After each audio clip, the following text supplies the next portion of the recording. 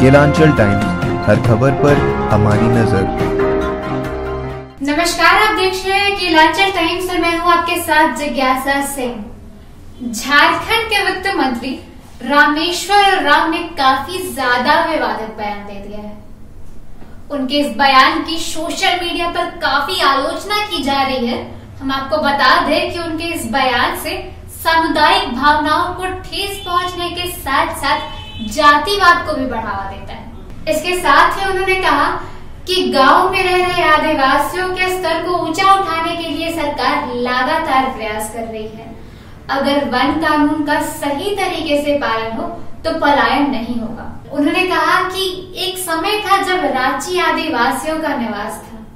यहाँ के इलाके भी उन्हीं के नाम से रखे जाते थे, पर आज वो इलाके और नाम तो हैं, लेकिन वहाँ आदिवासी नहीं रहते।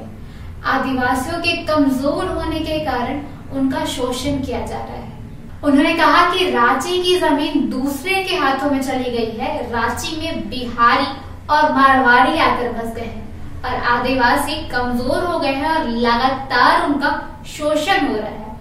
रामेश्वर और राव के इस बयान पर दीपिका पांडे सिंह ने ट्वीट कर कहा यह किसी एक व्यक्ति विशेष की सोच हो सकती है, इंडिया की नहीं भारतीय इतिहास की सबसे पुरानी पार्टी, कांग्रेस, आज भी जोड़ने पर विश्वास रखती है, तोड़ने में नहीं। सनद रहे, जब भारत एक है तो इसके हर राज्य, हर ज़िले, हर धर्म जाति के लोग भी एक हैं। इस पर कुमार गौरव ने ट्वीट किया कि इंडिया की सोच है कि हिंदू, मुस्लिम, सिख, ईसाई आपस में है भाई भाई यह बयान कांग्रेस की विचारधारा के विपरीत है। और कांग्रेस की आत्मा को चोट पहुँचाने का कार्य करता है।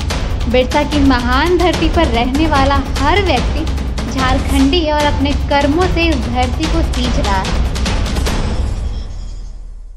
केलांचल टाइम्स, हर खबर पर हमारी नज़र।